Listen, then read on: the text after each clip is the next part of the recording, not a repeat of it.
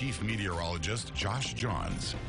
Welcome back, everyone. So I know we think it's cold here sometimes, but I know it gets even colder in a lot of other places. Yeah, you know, 20 degrees, nothing to sneeze at that we woke up to this morning. It was chilly, but, you know, be lucky we're in Texas. Take a look at some of these mm -hmm. feel-like temperatures they're dealing with in the Midwest right now. These are the wind chills. And we've also plotted on there the time it takes for your skin to reach frostbite if you go outside with an unexposed area of skin. That could be your face. Look at some of these wind chills. Negative 23, your feel like temperature in Chicago right now. It feels like 54 in Fargo with a two-minute frostbite time. That means you step outside for two minutes and you could already experience frostbite. And that's not the worst. The worst up there by Fargo, negative 60, 61 below. The wind chill right now in Fergus Falls, yeah, it is bitterly cold in the north, in the Midwest right now. Meanwhile, here in the Concho Valley, we dealt with some cold temperatures too. Nothing like what they're seeing, but these are the temperatures you woke up to this morning. It got down to 20 degrees here in San Angelo, also in Sterling City. 25 your morning low today in Brady, 27 in Ozona, 28 in Ballinger, 27 in Junction,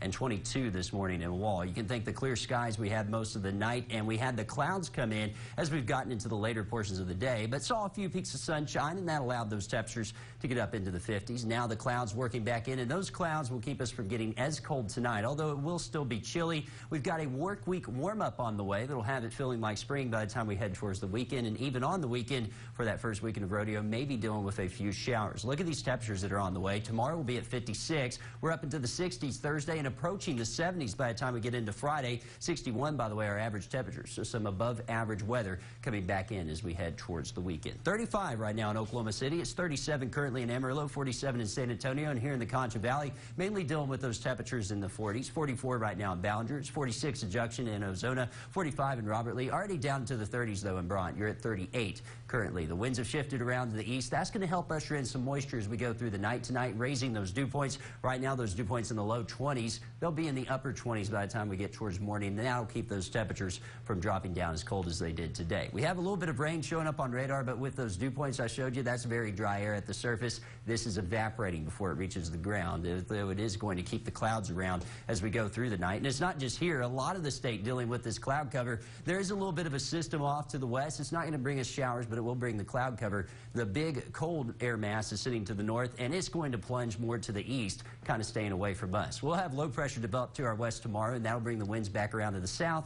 That's what's going to be responsible for your warm-up as we head through the work week. Take a look at the temperatures as we go through the next 24 to 48 hours. By the time you wake up dealing with those temperatures, that will be dropping into the 30s. In the afternoon, climbing into the 50s tomorrow, mainly the upper 50s. The clouds come back as we go into Thursday morning. We'll start out at 44 there at 3.30 and actually warm up through the day. That means that when you wake up Thursday morning, it'll feel a little bit warmer and a lot more humid as we go through your morning on Thursday. And then Thursday in the afternoon with westerly winds clearing the sky cover and bringing back those 60s. Let's take you up to the north, kind of show you what they'll expect because they'll be fighting these bitter wind chills over the next few days into tomorrow. Negative 29, your wake up temperature in Minneapolis. The wind chills are going to feel like the negative 50s. Luckily, they're getting warm air heading back in as we go into the weekend. A little bit of energy working through will be responsible for a few showers as we head towards Saturday. Won't be a big chance, only a 20% chance, but either way, going to increase the clouds and also bring some showers. Saturday uh, temperatures, these aren't Saturday's temperatures, these are tomorrow's temperatures getting into the 50s.